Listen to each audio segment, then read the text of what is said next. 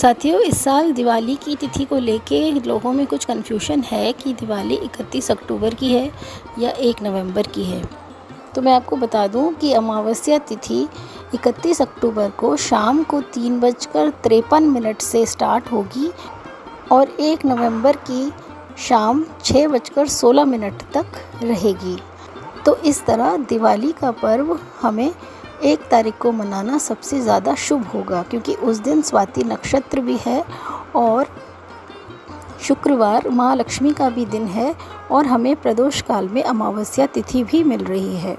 तो लक्ष्मी पूजन प्रदोष काल में होता है और प्रदोष काल क्या होता है? प्रदोष काल होता है सूरज डूबने के 45 मिनट के आगे पीछे का समय।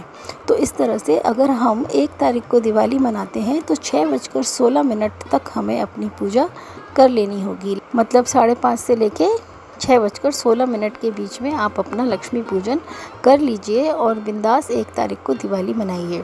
अब कुछ लोग कह रहे हैं कि इकतीस तारीख को भी प्रदोष काल में हमें पूरी अमावस्या मिल रही है और निश्चित काल में भी मिल रही है।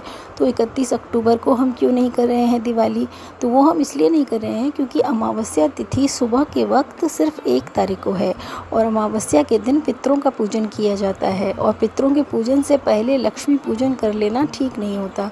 इसलिए एक तारीख को सुबह पितरों का पूजन करिए और शाम को लक्ष्मी पूजन करिए और दिवाली धूमधाम से मनाइए।